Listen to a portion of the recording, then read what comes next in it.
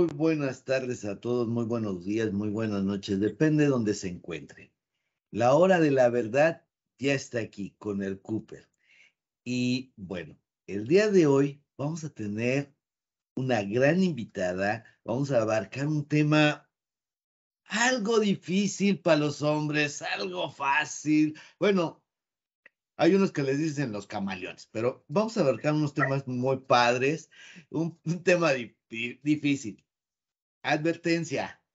Nuestra invitada Lupita Álvarez de Minatitlán, Veracruz, es terapeuta en integración emocional, problemas de pareja, por aquellos que andan con sus problemas, pero también problemas de identidad, ya saben que cuando uno les viene a deber y todo, de ira, de esos que se enojan por todo y se enojan de nada.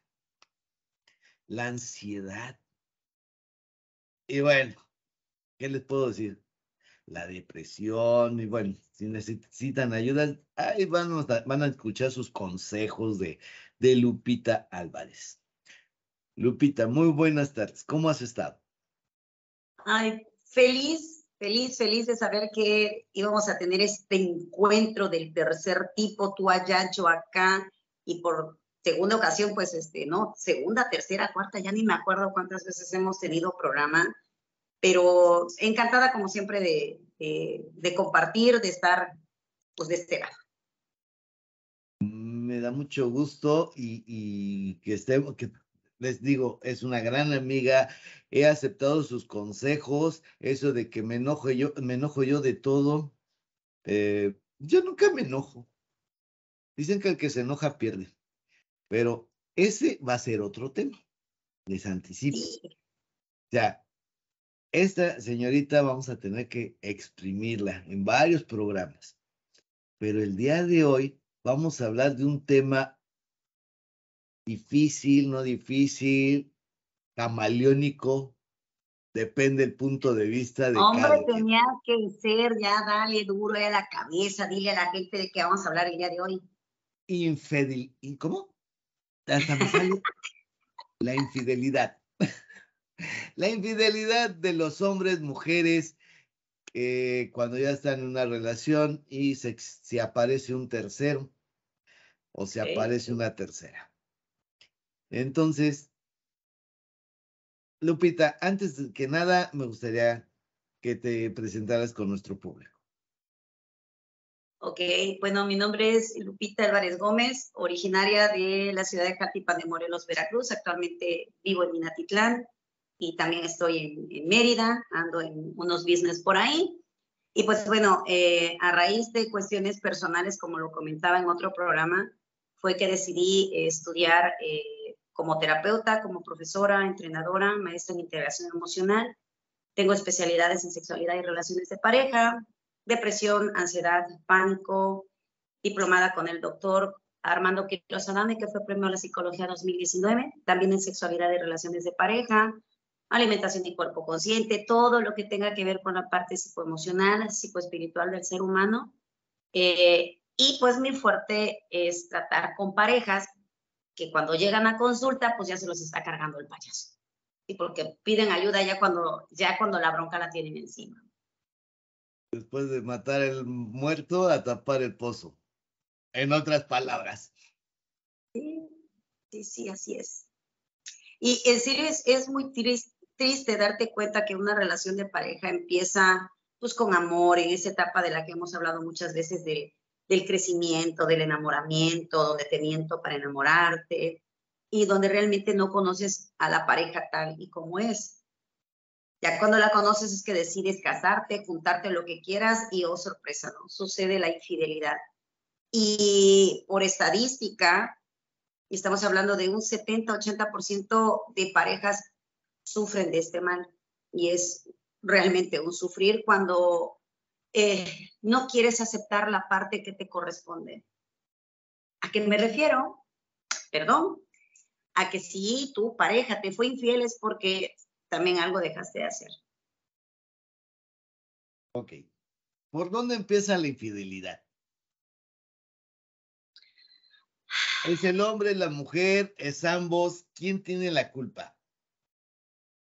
Uf, es que hablar de culpas no me atrevería, pero sí me atrevería a hablar de responsabilidades. Eh, cada vez que doy charlas prenupciales y que digo, respeto mucho las charlas prenupciales que dan eh, en las religiones, mis charlas son duro y a la cabeza. Te comento, soy una persona divorciada y obviamente eh, no es lo mismo estar casada y haber pasado por cierto tipo de, de proceso. ¿Quién tiene culpa? ¿Quién tiene responsabilidad? Para mí son ambos. Cada vez que doy estas charlas prenupciales, hablo de tener un plan de acuerdos. ¿Qué estoy dispuesta a dar? ¿Qué estoy dispuesta a recibir? ¿Qué estoy dispuesta a permitir y qué no estoy dispuesta a permitir? ¿Qué estoy dispuesta a permitir? Son como las, políticas de una empresa. ¿Qué no estoy dispuesta a permitir? Son las reglas y las reglas no se rompen. Pero todo el mundo se conoce, este, se van a vivir muy rápido juntos y ya luego se casan y vienen los hijos y nunca se sentaron a hacer un plan de acuerdos. Entonces, si en ese plan de acuerdos está estipulado de no estoy dispuesto o dispuesta a permitir una infidelidad, pues en cuanto suceda, mamacita, papacito, agarra tus cosas y vete. ¿Sí? Porque es un plan de acuerdos.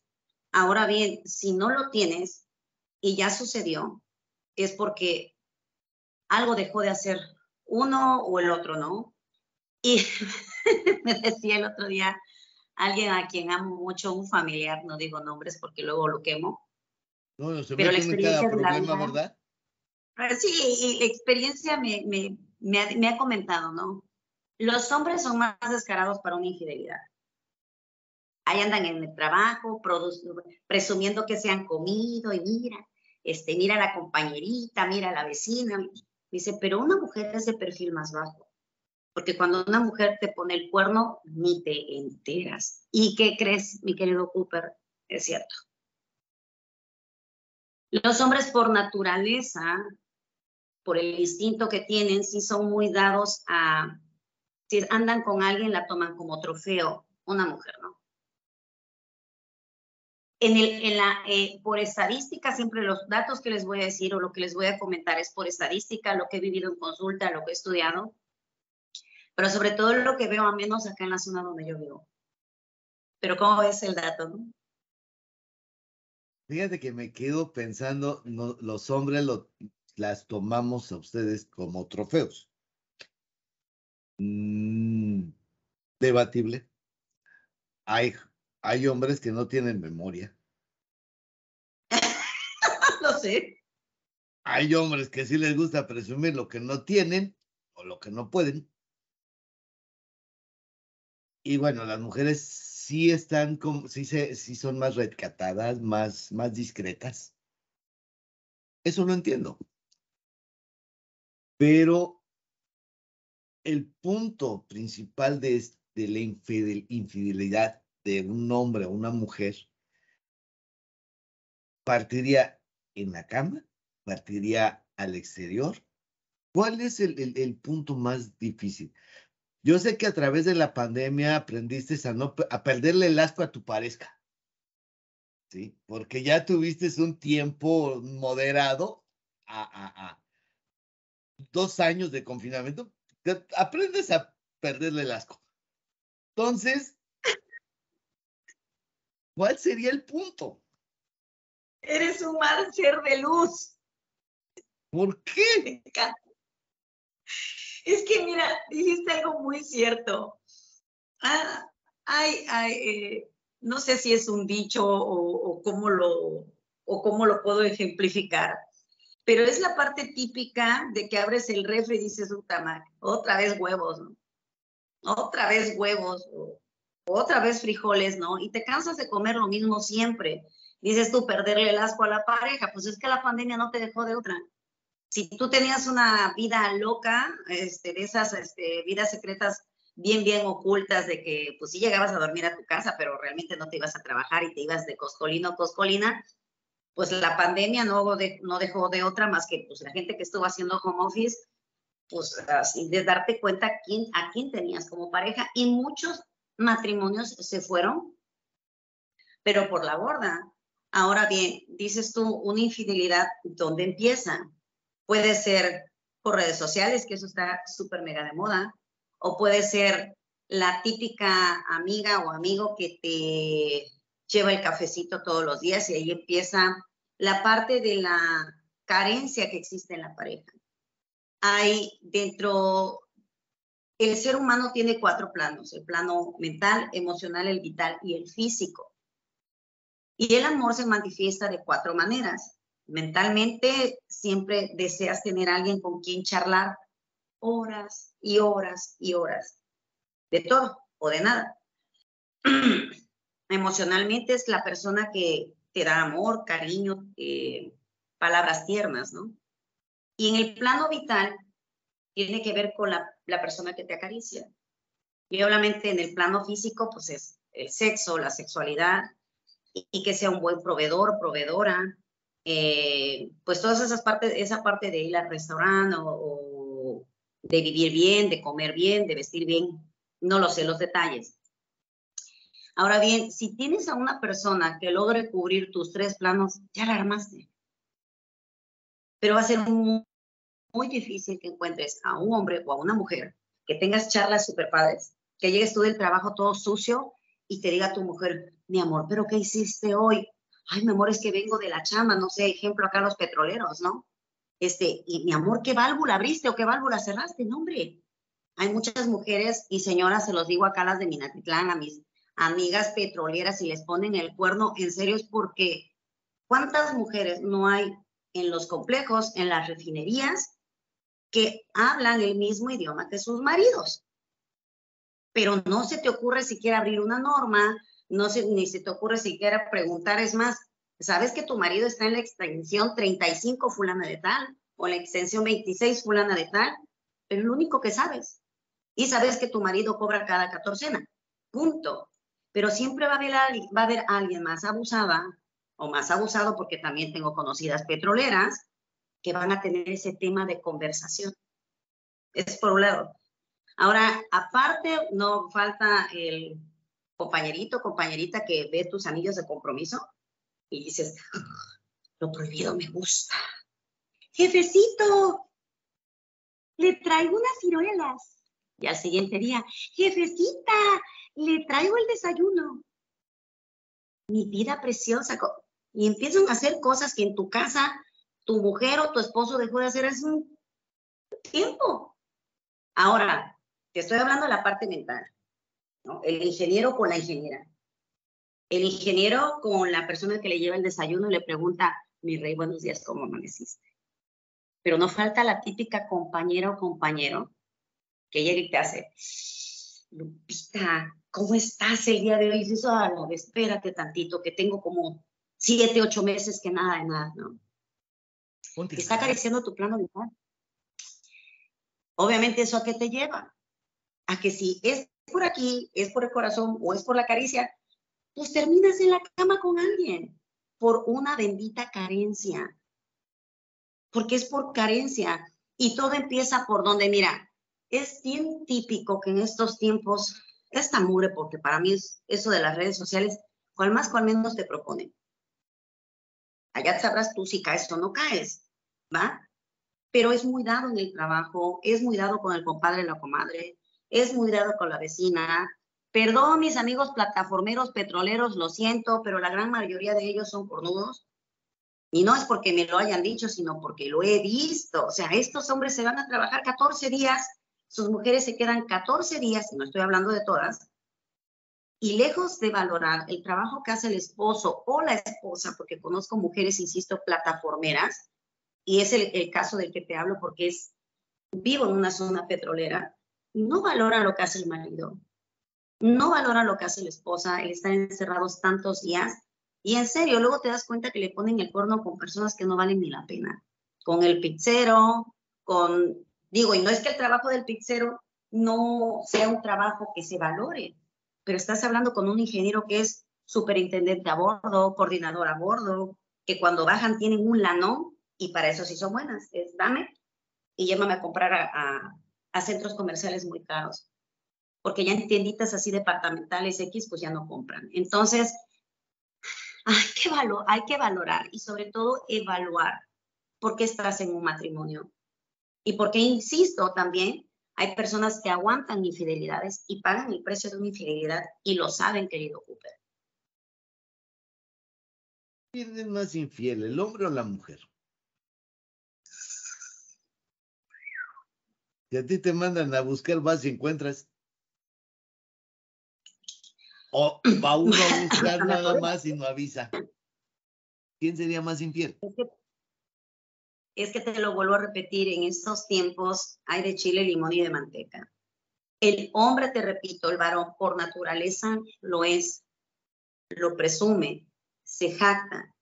La mujer no es presuntuosa, es de perfil bajo pero me atrevo a decir que las estadísticas en estos tiempos está por igual. Hombres y mujeres son infieles y eh, la infidelidad causa mucho daño. Mucho daño si no está permitida. Tú como terapeuta, ¿qué consejo le dirías a una pareja eh, que están atravesando un momento así de difícil por un lado y disfrutado por el otro? ¿Qué consejo pudieras decirle a esa, pareja? Una pareja que me llega con problemas de infidelidad, ¿a eso te refieres? Sí. Mira, para la infidelidad hay una palabra clave que se dice muy, muy fácil, pero es muy difícil en terapia de trabajar y me puede llevar muchas sesiones hacerlo, pero se puede lograr. Y la palabra clave es el perdón aunque no lo creas. ¿Por qué? Porque la pareja te es infiel, porque eres malo en la cama, porque no tienes sexo, porque tienes un mal carácter, por la monotonía o porque simple y sencillamente te salió polígamo o polígama.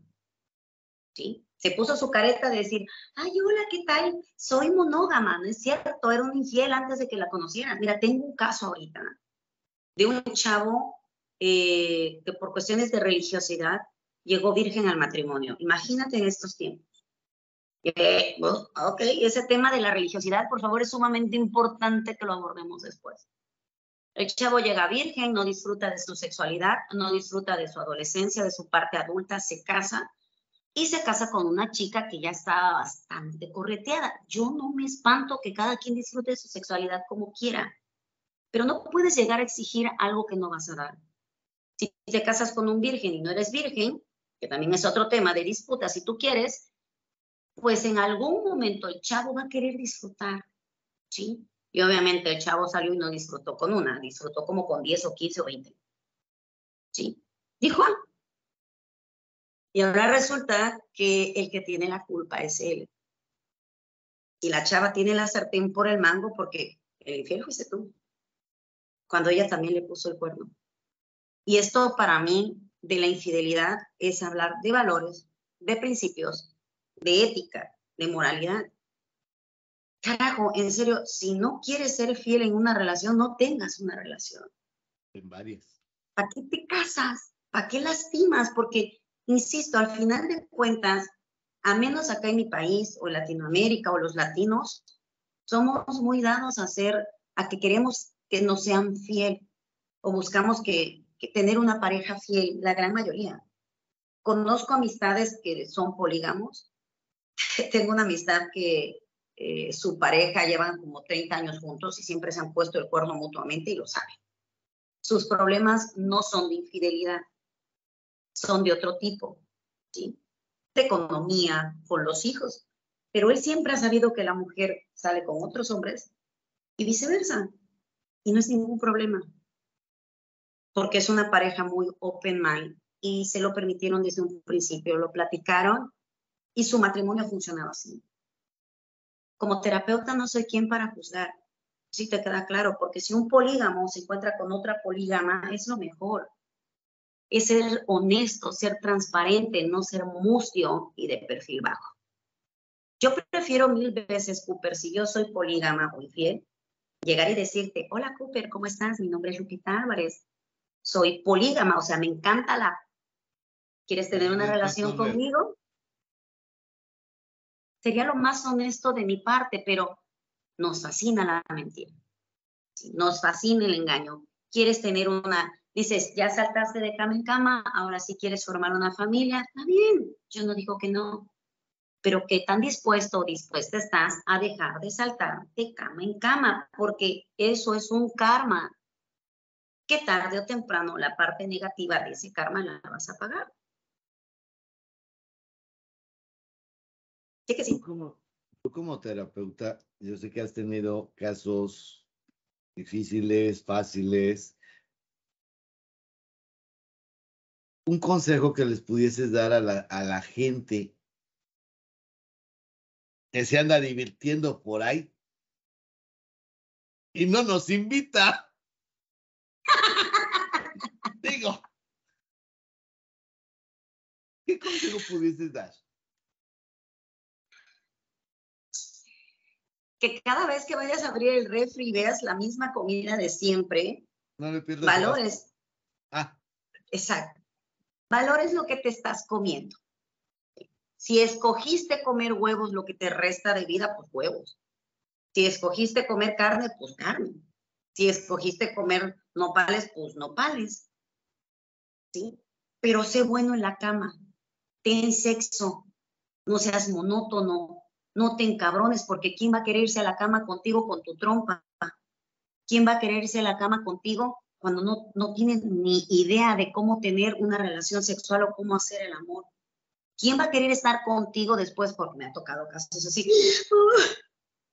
doctora, me dicen doctora, digo, yo estoy estudiando un doctorado, pues no soy doctora, soy terapeuta, ok, Lupita. Es que me puso el cuerno. ¿Por qué, señora? Pues no sé por qué. Primer pregunta que le hago así. ¿Desde cuándo no tienen sexo? Ay, como un año nada más. O sea, por el amor de Dios, es en serio. Y no se oxida. Un hombre, o sea, no, eso en serio, yo casi casi le digo al señor, qué bueno que le puso el cuerno, señor. Porque no se le oxidó? Eh, no sé, a la señora no tengo ni la más remota idea, pero, hay una parte legal, incluso que me diga algún abogado si me equivoco, que tu obligación como mujer o como varón es pues tener sexo porque si no, ¿cómo te reproduces? Ok, vámonos a la parte del amor, la parte emocional, espiritual, pero vámonos a la parte carnal con la que no puedes ir en contra, que es el instinto con lo que naces. Un hombre produce esperma cada dos o tres días. O sea, ahí el por qué necesita masturbarse cada dos o tres días. Y si tú, mi hermana, no le ayudas a tu marido, pues se va a autoayudar. O va a venir alguien, la que le lleva el desayuno, la que sí sabe del trabajo que tú no sabes, hacerlo por ti. Alguien siempre lo va a hacer por ti. So sorry, pero sabes cómo soy de pelada para hablar. Soy sexóloga. Entonces, me llegan y me dicen, es que tengo un año que no tengo sexo con él. Ok, por eso te puso el cuerno, mija. ¿Qué me dejó? Por eso te dejó, por pinche dramática. Qué flojera estar con una mujer que siempre está conflictuando. Ay, pero me puso el, cuerno mi esposa. ¿Qué, no hiciste? Pues nada, oye, ¿le mandabas flores? ¿Le mandabas chocolatitos? ¿Te acordabas de su cumpleaños? Pues no, yo no veo importante eso, señores. Lo que no es importante para ustedes, para algunas mujeres sí lo es. La clave en una relación de pareja es pregúntale a tu mujer qué quiere. Tú te podrás sentir un tigre o una tigresa en la cama, pero tú, pregúntale a tu mujer, no tú, el otro tú que me está escuchando. pregúntale. Fíjate que fue una tarea que nos dejaron en la especialidad de sexualidad y relaciones de pareja. Los que estaban casados o, en unión libre o en pareja, es la primera semana yo te voy a decir a ti cómo me gusta. Y la siguiente semana, pues viceversa. Porque tú puedes intuir, y ese tema de la sexualidad también sería muy bueno, tú puedes intuir que lo que estás haciendo a tu pareja le encanta. A lo mejor y no. Si vivir solo o sola es un arte, mi amigo, ahora vivir en pareja, ni se diga.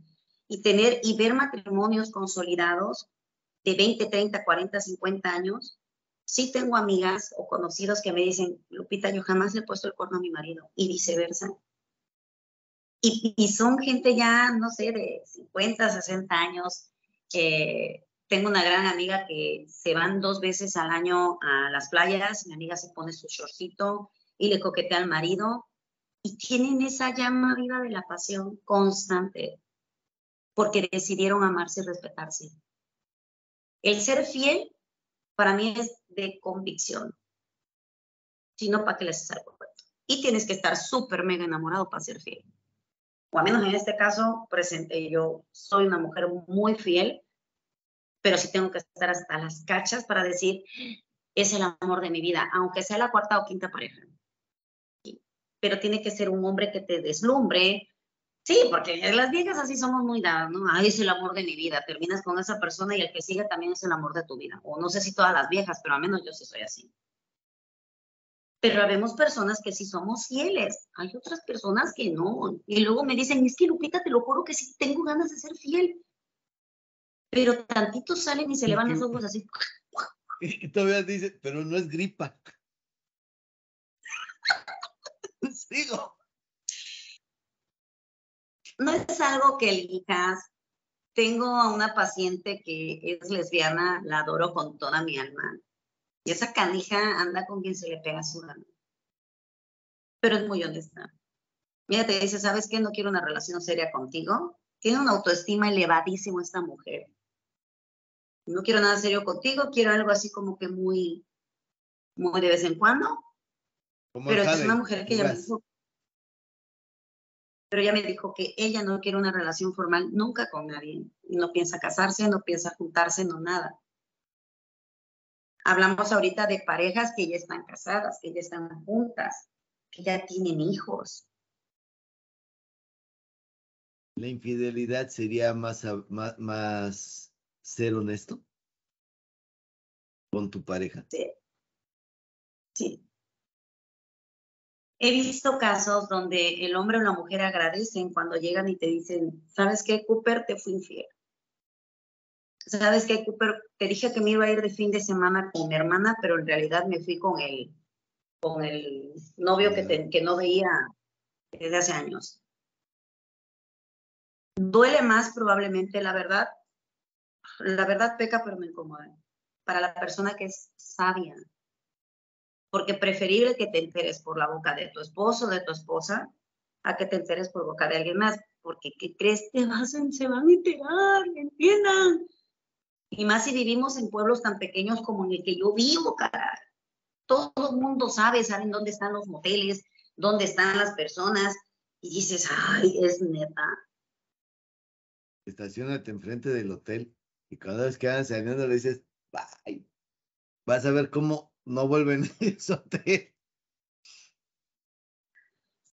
Pero luego dicen, no, es que a mí que me compruebe que, que era yo. Eh, luego sale y comprueba luego salen con pruebas y cómo, o sea, cómo te justificas cuando ya te cacharon. Y ojo, esto sí lo tengo que comentar, es muy dado. Señoras, no hagan esto, no se rebajen, por favor. Le pone el cuerno al marido, ¿no?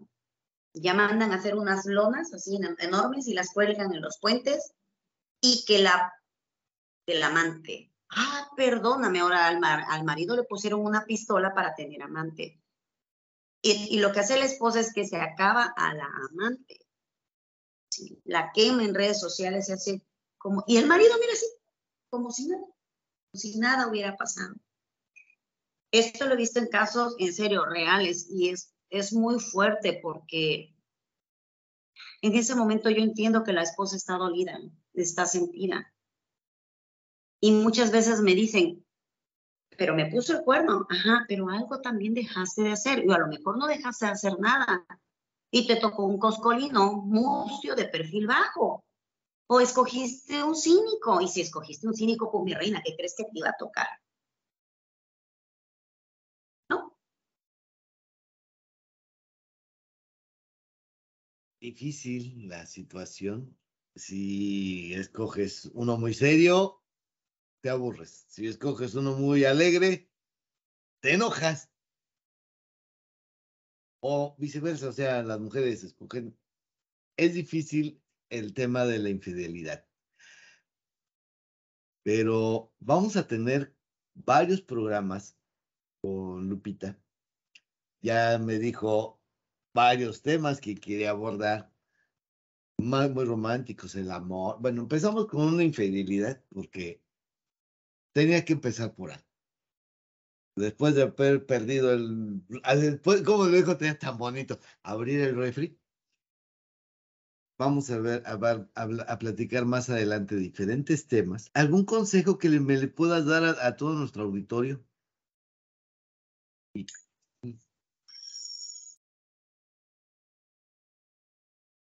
Sean leales consigo mismo. Si hay algo que te puede carcomer es la culpa. Cuando tú le pones el cuerno a alguien, a lo mejor y lo sabes esconder muy bien, pero lo sabes tú cada vez que te vas a dormir, cada vez que agarras tu celular y le mandas un mensajito a alguien, cada vez que le dices a tu esposo o tu esposa, me tengo que quedar en la guardia, y no es así. Si la neta no sabes estar en pareja, mejor no lo hagas y divórciate, así de plano, y evítate pagarme 10, 15, 20, 30 terapias, porque no, no. La gente no quiere cambiar. No tiene la firme convicción de querer de querer cambiar. Muchas veces buscan ayuda para que el esposo o la esposa vean que yo estoy tomando ayuda terapéutica, pero el cambio realmente viene de adentro y es hacer introspección, porque me siento vacío o vacía y estoy buscando siempre en otras mujeres o en otros hombres.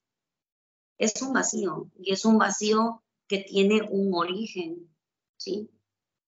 Eh, es un trauma muy probablemente que se pudo haber dado en la infancia o en la adolescencia y por lo regular tiene que ver con abusos sexuales, tiene que ver con uso y abuso no necesariamente sexual, tiene que ver con violencia, tiene que ver con que papá o mamá fueron infieles y ya se te hace normal ser infiel, lo naturalizas, como la mujer que se deja golpear.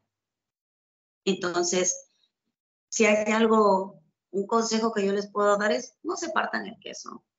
Si realmente ya estás pasando en tu matrimonio en este momento por un asunto de infidelidad, ok, dejen de ver quién es el culpable o quién es el responsable. Que realmente busquen lo que es esa fuente de amor, porque en algún momento no fueron infieles. Tú conociste a esa persona que te invitaba un helado, que te invitaba, te conquistaba todos los días, pero algo dejaron de hacer para llegar a ese punto de infidelidad.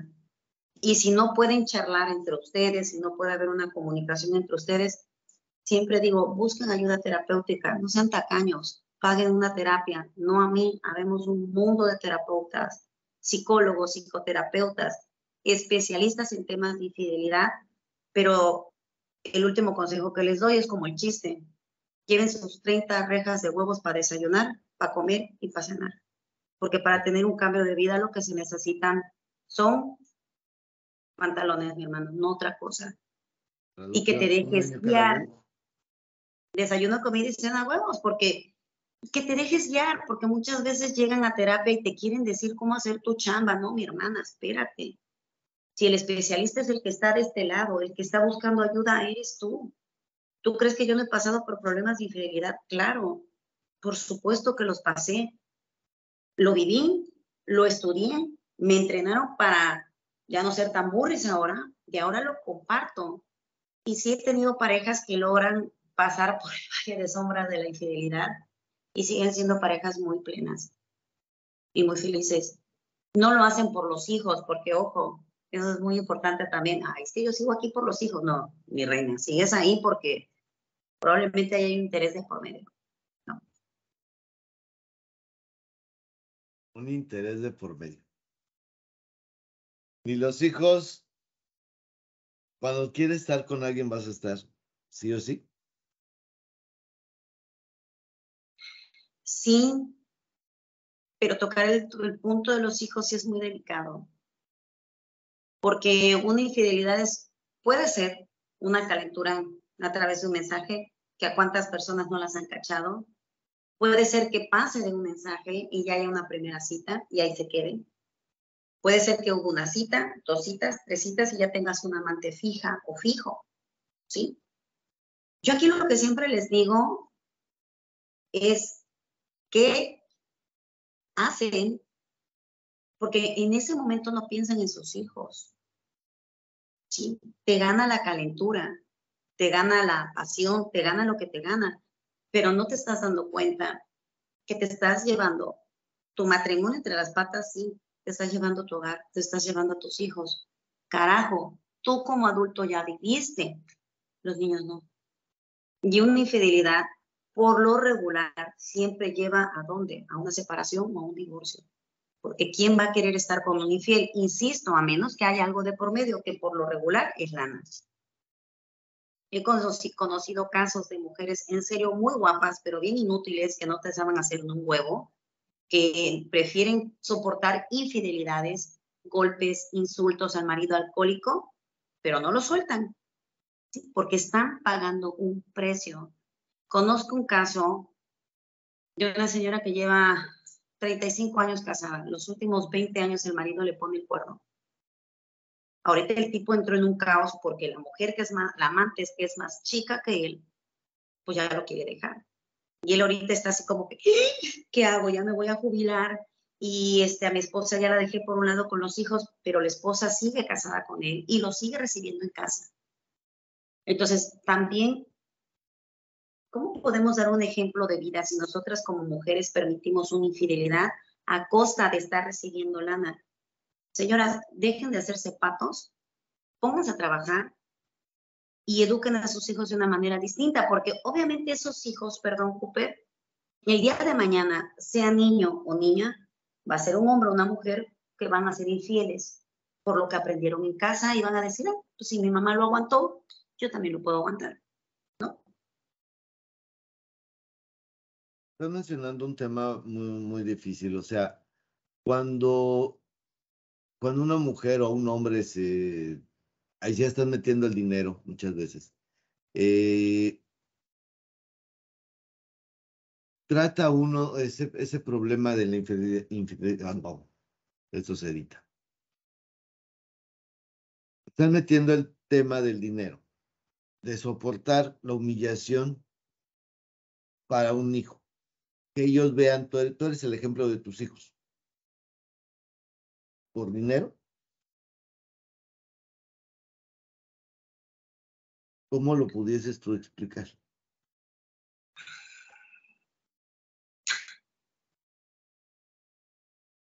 Pues es que quiere decir que si te valen M tus hijos, pues es porque no te amas tú tampoco. O sea, en serio, yo no concibo, no concibo una mujer que sepa que su marido le está haciendo infiel, no un año, o sea, no una vez, no un año. Este, este caso que te digo lleva 20 años el doctor poniendo el cuerno a la mujer. Me habla el otro día desesperado, me dice, Lupita, es que ya no sé qué hacer, mi amante me va a dejar, este, ya anda con otro. Eh, hombre, una historia así bien torcida, bien torcida. Mi amante me va a dejar, ya, ok, ya, ya. O sea, el, el doctor tiene un matrimonio de 35 años, desde hace 20 tiene un amante, que la amante era más chica que él, ¿sí? Y ahorita que resulta que ya está próximo a jubilarse, pues él está feliz con dos viejas, ¿no? Perdón por decir viejas, pero está feliz con la esposa, porque él llega a ver a su esposa y a sus hijos. La señora sabe que tiene un amante, pero ahorita esta amante está saliendo con alguien más y está próximo a dejarlo, porque el señor ya está viejo para ella. Que hizo los mejores años de su vida, le sacó lana, le sacó dinero. Y se lo dije, doctor, discúlpeme, le conozco físicamente, lo vi una vez, una vez lo vi. mi número, me marcó, pues obviamente le fue como Le dije, le conozco físicamente, ¿usted cree por su línea vamos a sacar a esta mujer y van a usted? Señores, despierten, si ganas un mundo de lana, lo más seguro es que una chamaca 20 años más joven que tú no va a andar por tu linda y hermosa cara. Puede ser también al lado contrario, ¿no? Y estás arriesgando. Igual. Igual. Y mira que ahorita en donde me fui a vivir a Mérida, las mujeres llegan en unos camionetones y recogen chamacos y les pagan. ¿Sí? en serio, como sociedad estamos perdidos. Estamos perdidos. Las personas que estamos solteras, pues, ¿qué, qué, podemos perder? Nada. O sea, y en este caso yo que me conozco tanto, que ya he pasado por tanto, yo la primera que me ponen el cuerno veo algo que no me gusta es, ¿sabes qué, compadre? Gracias, con permiso, ya me voy.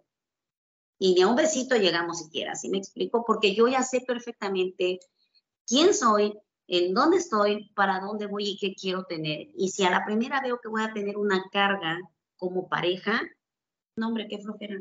La bronca es los que están casados. Que no entienden que hay una responsabilidad moral. Y que bien dijiste, educamos a través del modelaje. Somos ejemplo para los hijos. Somos ejemplo para los chamacos.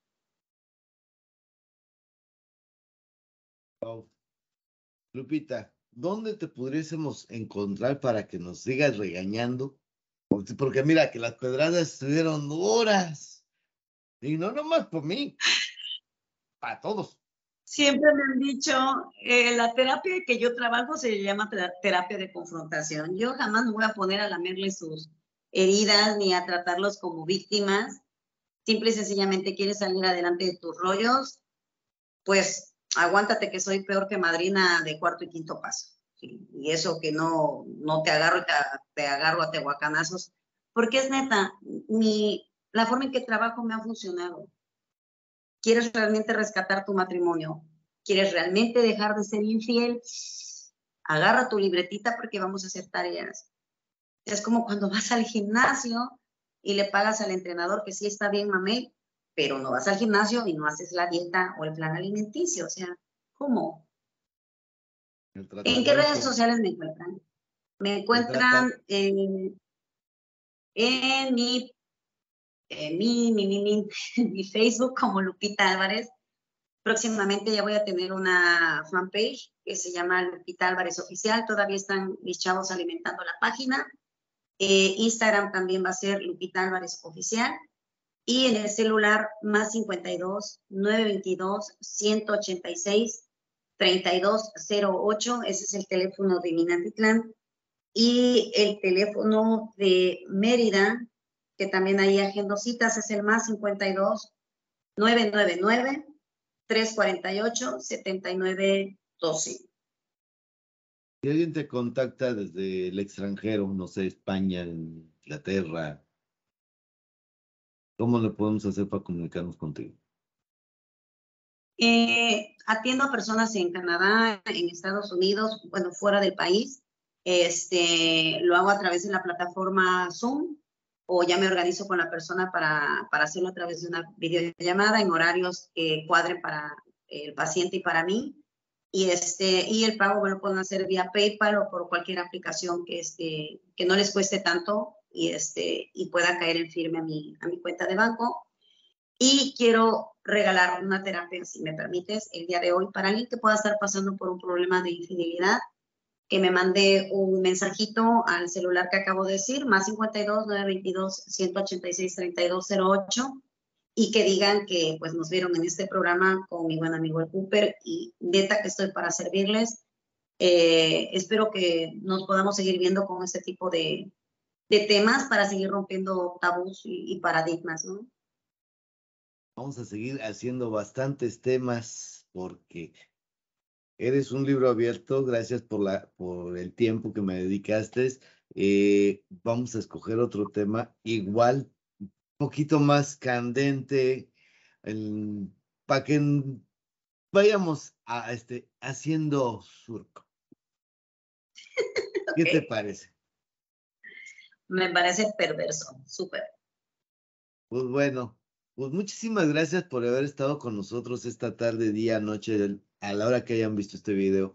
Eh, y recuerden, tienen una cita, mándenle un por WhatsApp, comuníquense con Lupita Álvarez y díganle, hablan de parte del Cooper y les va a hacer un, una, una, una primera cita a mi nombre. Los esperamos en el próximo video.